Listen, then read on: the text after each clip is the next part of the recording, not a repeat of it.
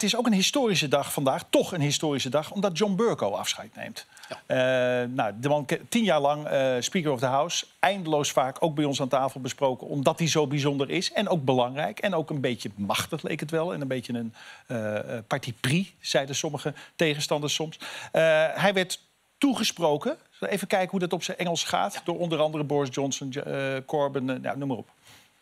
You have sat up there in your high chair, and not just as an umpire, uh, ruthlessly adjudicating on the finer points of parliamentary procedure with your trademark Tony Montana scowl, like some some uncontrollable tennis ball machine, Mr. Speaker, delivering a series of literally unplayable, unreturnable, formally unreturnable uh, volleys and smashes. I hope you will indulge me one moment while I say a word about you.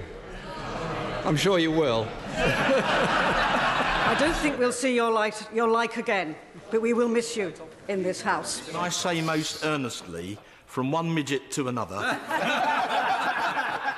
I wish you a long and happy retirement. Uh, Nobody has sat in that chair who has done more to defend and promote the rights of LGBTI people uh, in this country and throughout the world. And when so many people live in fear of being born the way they are, I salute you. Thank you.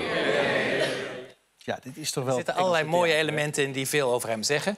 hij, was, eh, hij is natuurlijk al meer dan twintig jaar parlementslid geweest. En een van de grote conflicten die hij als parlementslid had met zijn eigen Conservative Party ging over de rechten van homo's, lesbiennes. Namelijk het recht voor eh, homoseksuele paren om ook te adopteren. De Conservatives wilden dat niet. John Burkhoff wel, die ging tegen de partij in.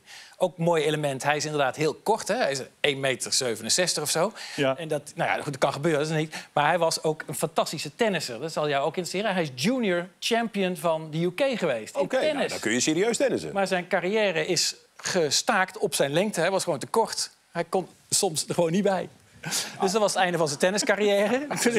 Dat is ook een gebrek aan talent, hè? Dat je te klein bent. Ja. Ook- Maar de welbespraaktheid toch eigenlijk vooral van Boris Johnson, laten we eerlijk zijn. Ja, dat is maar fantastisch. Virtuoos. Maar dus het feit dat hij een tennisser is Ja. Mhm. en een groot tennisser had moeten worden, staat helemaal in dat verhaal. Hè? Dus hij zei: You are the empire, de scheidsrechter daar op die hoge stoel.